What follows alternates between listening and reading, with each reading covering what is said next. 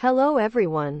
We will deliver the news that became a hot topic on July 11, 2023.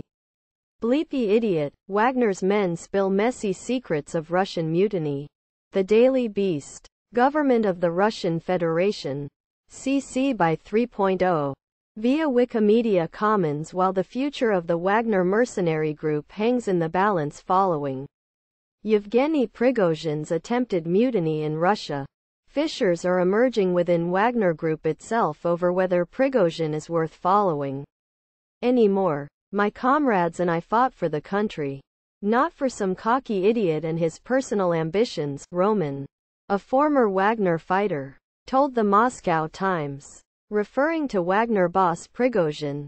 Vlad. Another four. Below are your comments. When the coup fails, deny you were ever in favor of it.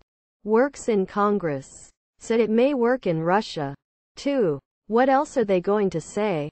They probably fear for their lives now, after the rebellion. The Wagner troops are ideologues. I thought they were pure mercenaries who agreed to accept payment for their military fighting. No matter how Prigozhin's rebellion turns out, Prigozhin still punked Putin and showed the world how vulnerable both Putin and Russia really are.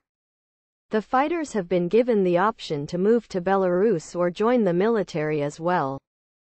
Next news. Sex charges dismissed against reality TV doctor and girlfriend.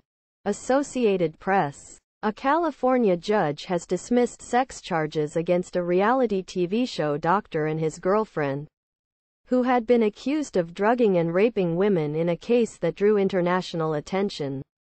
Court records show that charges of assault with the intent to commit a sexual offense were dismissed Friday against Dr. Grant Robichaux, a surgeon who previously appeared on a Bravo TV show called Online Dating Rituals of the American Male and girlfriend Cerissa Riley.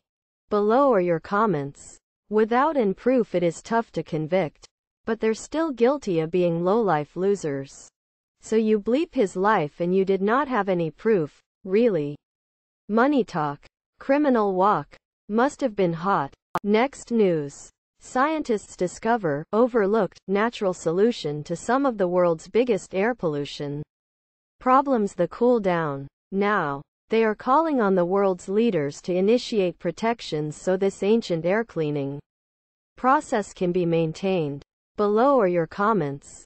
Paul Stamets has been saying stuff exactly like this for close to two decades now.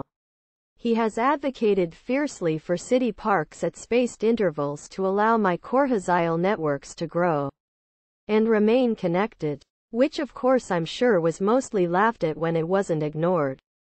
The primary benefit of these if compost were used instead of chemical fertilizer the soil would be helped a whole lot. So it could help other things better. I fail to see how plant life to curb pollution and carbon is new. That's been around since the early 70s. What would be new is for people to stop cutting down the rainforest, the subtropical forest, and a control on urban sprawl. But that will never happen. We will continue to pollute the air we. Our last president repealed the Clean Water Act, which had been in effect since 1948 and Strengthened in 1972. Millions and millions of acres of low land were tiled, ditched and drained. Now we have nitrogen, weed bleeper and insecticides in our drinking water. Our fungi systems are dying rig. All well and good. Maybe the answer is to let nature do what it does best.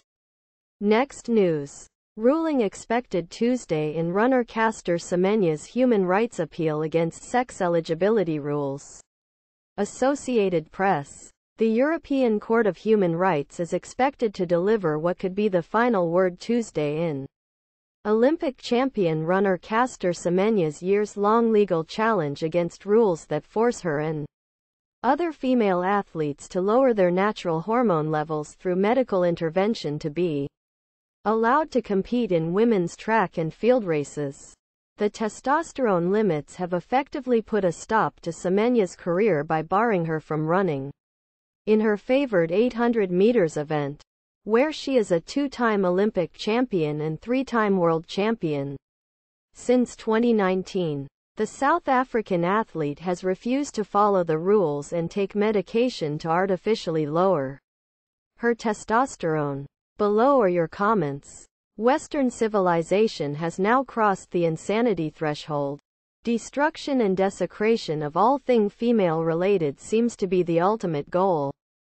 Either respect natural, normal, women or just do away with women's sport altogether. If the Olympics is turned into a freak show, there won't be much point in having it.